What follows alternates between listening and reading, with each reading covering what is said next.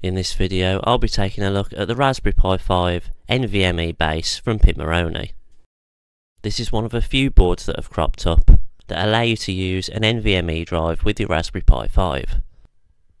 I'll be taking a look at the base, seeing how it fits to a Raspberry Pi and doing some basic testing with an NVMe drive installed.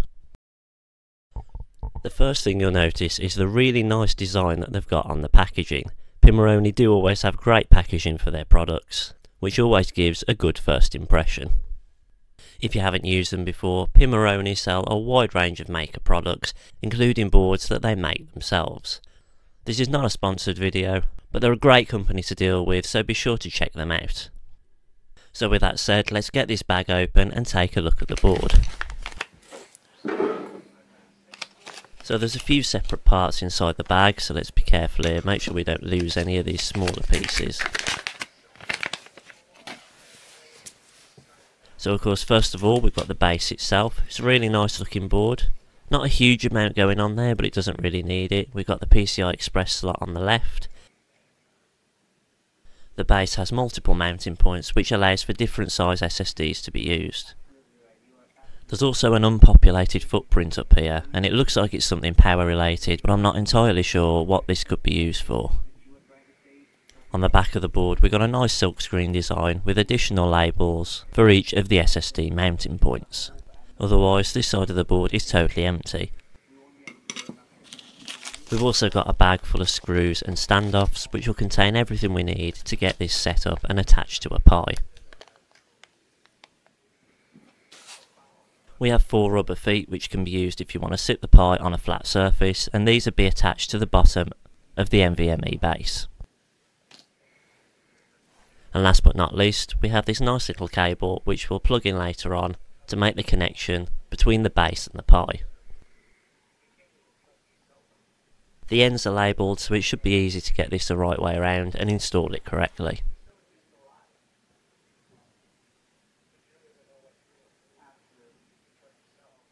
And this is where I'm going to start the assembly. Lifting up the flap of the connector, it should be really easy to slot the cable in place, just make sure it's the right way around. The printing on the cable should be facing downward. Once the cable is fully inserted, close the tab to lock it in place. With the cable fitted, I'm now going to go ahead and install the SSD. Here's the drive that I'm going to be using with the Raspberry Pi.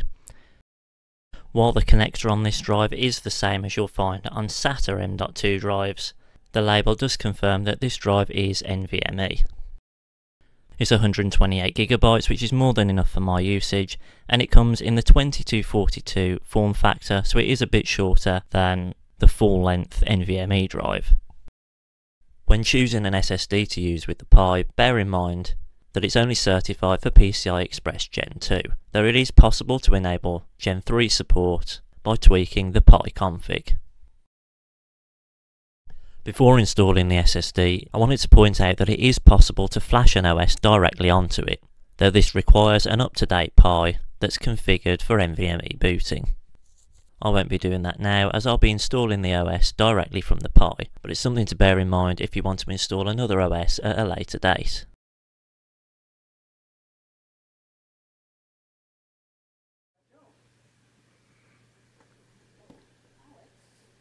There are three different lengths of screw that come with this kit. To mount the SSD, you want to use the medium length screw, so the middle one out of the three. Slot this through the relevant hole on the underside of the NVMe base, and then you'll want to use a nut to hold that screw in place.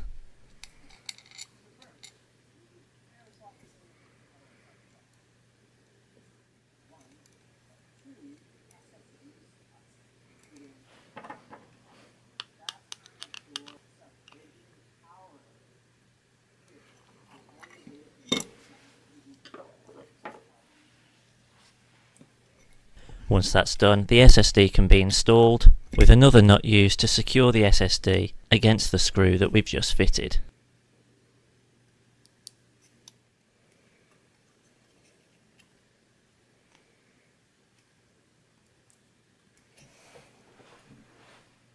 The next thing I'm going to fit now are the mounting posts which will hold the Raspberry Pi above the base. For this you'll want to use the shortest screws and fit them to the mounting holes around the outside of the base.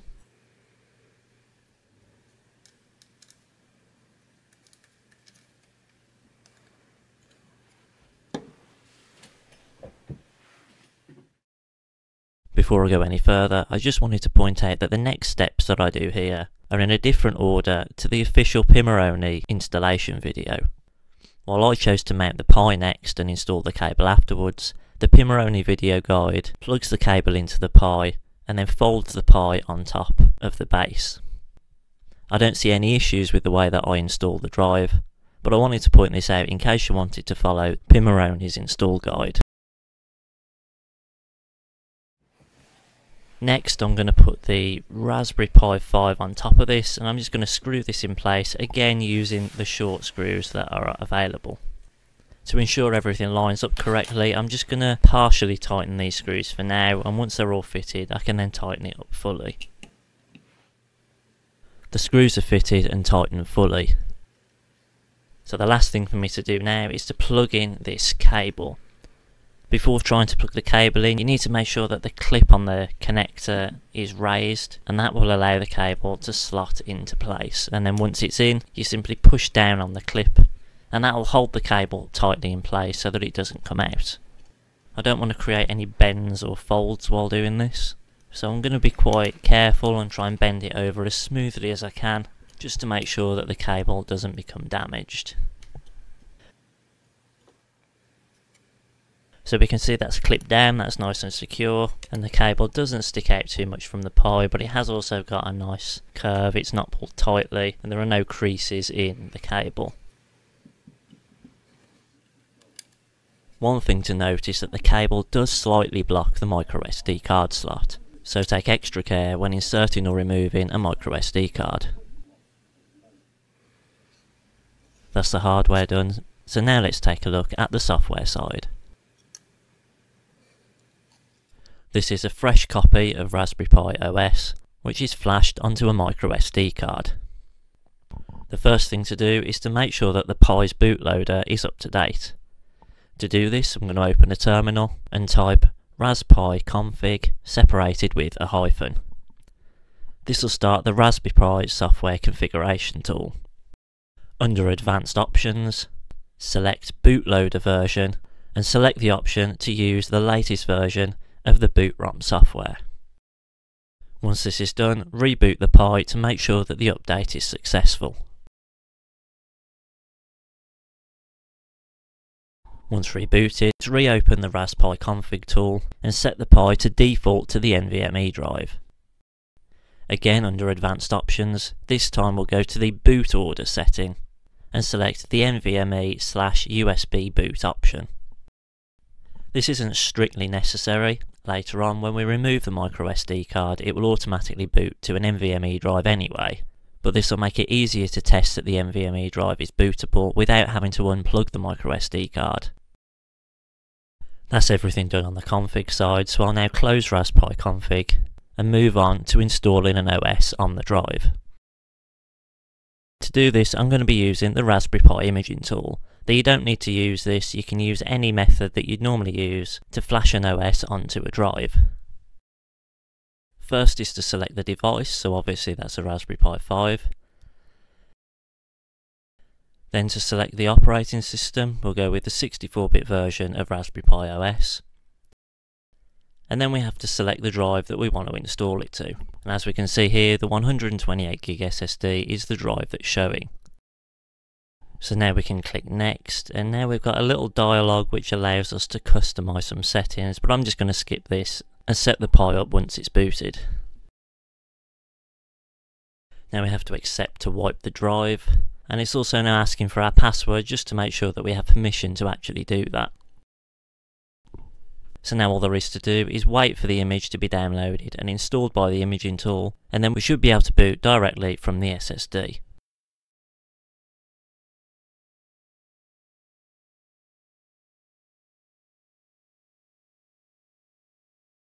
So we've skipped ahead a few minutes now. It took about three or four minutes to install.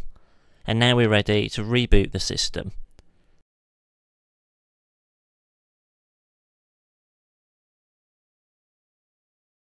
I'm actually going to shut down the Pi, that's just so that I can remove the micro SD card while it's powered off, so we can be sure that it's definitely booting from the SSD.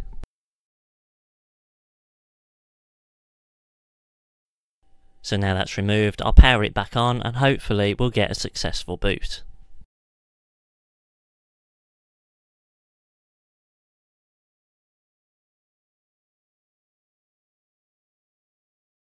We've now booted into the initial setup for Raspberry Pi OS, so that shows that the OS was installed correctly. I'll go through and complete this setup, and then I'll run a couple of basic benchmarks on the drive to see what kind of performance we're getting. I'll be using a tool called hdparm to do the test on the drive. This does need to be installed in Raspberry Pi OS as it's not included out of the box, but I've already gone ahead and done that.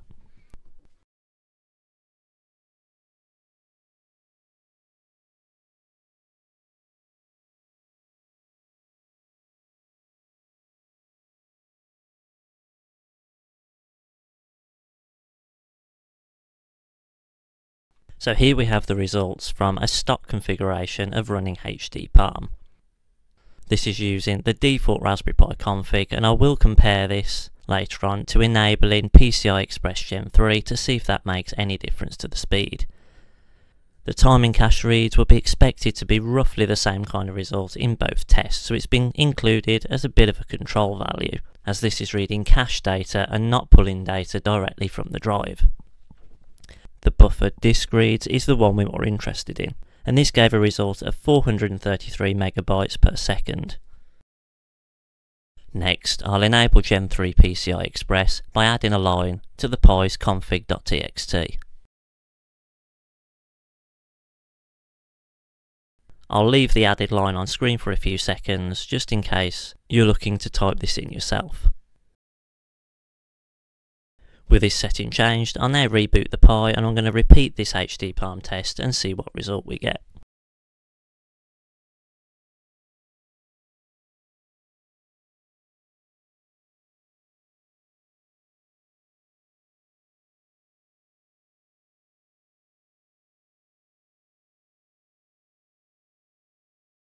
So here are the results of the repeated test with PCI Express Gen 3 enabled and we can see as expected the timing cache reads pretty much the same as what they were before but the buffered disk reads this is actually pulling data from the drive so this is the real test of the drive's performance is now coming in at over 800 megabytes a second or almost double the previous result.